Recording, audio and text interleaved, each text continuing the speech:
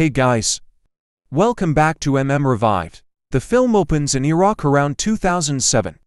After President Bush declared an end to the ongoing war between Iraq and the United States. Despite the war being over, U.S.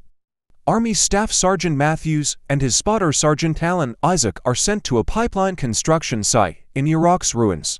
They're there to keep an eye on a notorious enemy who's been killing every American working at the site. They've already spent more than 20 hours under the scorching desert sun searching for the suspected sniper. After waiting patiently for several hours, Matthew becomes impatient and insists there are no Iraqi soldiers on the premises. He then sees the scattered bodies of workers and concludes that the site must have been attacked by a group of Iraqi soldiers who withdrew after completing their mission. Isaac hears this and tries to calm Matthews down, coming up with the theory that all the workers were shot in the head, so there was a professional sniper behind them. He also states that he can take action against a professional Iraqi sniper named Juba. However, Matthews dismisses his opinion, stating that no Iraqi sniper can kill all the workers within 30 seconds. In the next scene, after waiting for several more hours, Matthew's patience finally runs out and he decides to inspect the location himself. He reveals himself from hiding and carries his things. He then orders Isaac to cover him from behind and walks towards the construction site. Matthew quickly approaches the construction site and finds the bodies of soldiers and workers. He receives a radio from one of the dead soldiers and moves on. Isaac, meanwhile, has trouble tracking him down as his mission becomes unclear. He immediately tells Matthews, but Matthews berates him for not changing in time even though it's broken. In response, Isaac reminds him that the scope belongs to one of his deceased dearest friends, Dean, with various sentimental values associated with it. Matthews then inspects the bodies and is surprised to see everyone dead with full headshots. He begins to worry about the possibility of a sniper nearby and informs Isaac about it. Hearing this, Isaac suggests leaving here as soon as possible. Despite Isaac saying so, Matthew stands in the middle of the lot, trying to figure out the possible directions of the shot. A sniper finds Matthews and shoots him in the stomach. Seeing this, Isaac rushes to help his colleague who is running in a zigzag pattern while dodging bullets. However, before he could get Matthews to safety, he himself was shot in the leg. So he manages to jump behind the wall, leaving Matthews on the ground. Meanwhile, Matthew and Isaac suggests contacting the base and calling the backout and rescue team, while Isaac notices a gunshot wound in his right leg and tries to tie a belt to keep the blood from spilling. Shortly after, he grabbed the radio pouch and tried to contact the base, but the radio wouldn't pick up the frequency. Further investigation reveals that the radio has been hit by a bullet and the antenna is completely damaged, making it impossible to call for help there. At the same time, Matthews is going to find and aim the sniper. Isaac tries to stop him, warning him that the sniper will shoot him again if he moves.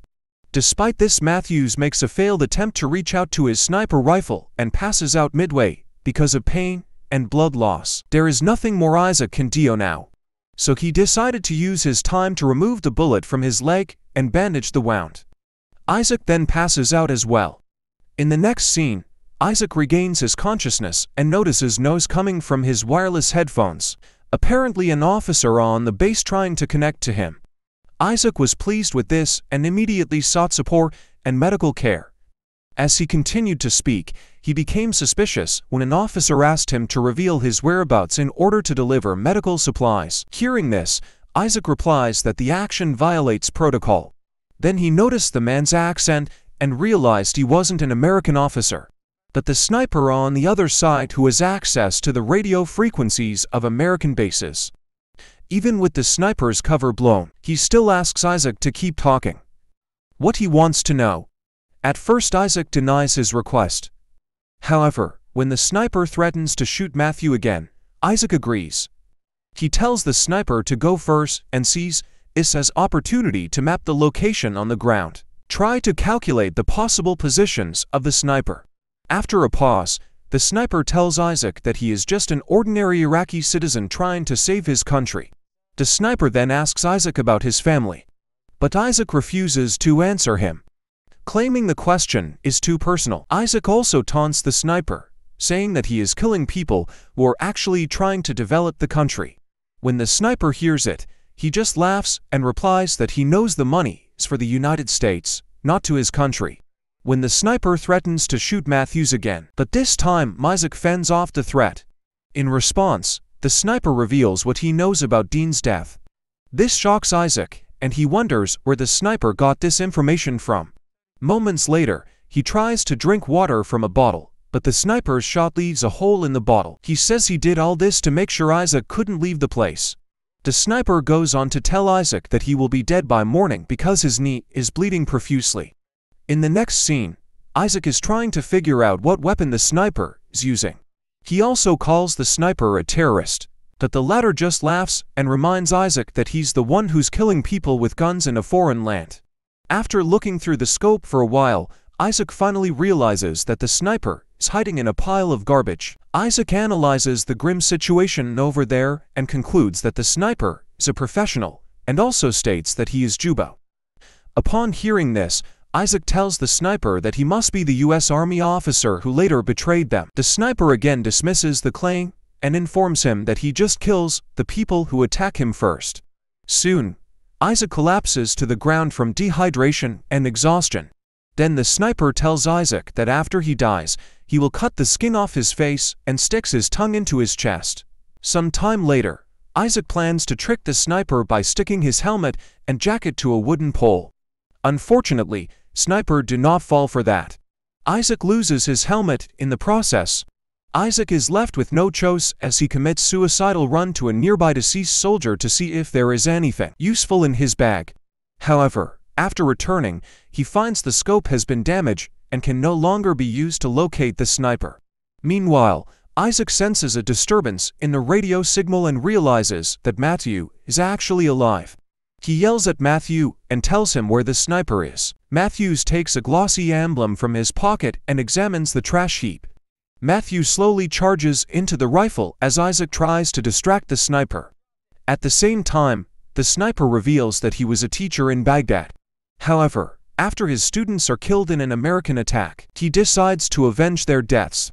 When Isaac does not answer for a while, the sniper threatens to shoot Matthews, oblivious to the fact that he's alive. Isaac then reveals that he is wearing a scope in memory of his friend Dean, also revealing that his mistake led to Dean's murder. Meanwhile, Matthews puts down his gun and aims blindly at the garbage pile. He fires several times, but when he tries to reload his gun, the sniper fires back. It hit him straight on the shoulder. Because of this, Isaac suggests Matthews crawling towards him.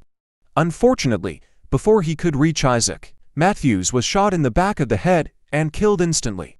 When Isaac sees this, he says he's broke and wants to go home. The sniper also tells Isaac that he will not really shoot if he really wants to. After a while, the sniper asks Isaac why he's still there since the war is over. Isaac pauses and replies that he's there because it was actually him who killed Dean. Isaac then confesses to accidentally shooting Dean while trying to shoot a sniper. He also states that he lied to everyone about Dean being killed by an enemy sniper, and as he talks to the sniper he hears a noise coming from the radio transmitter. He immediately crawls to the radio and tries to contact the base.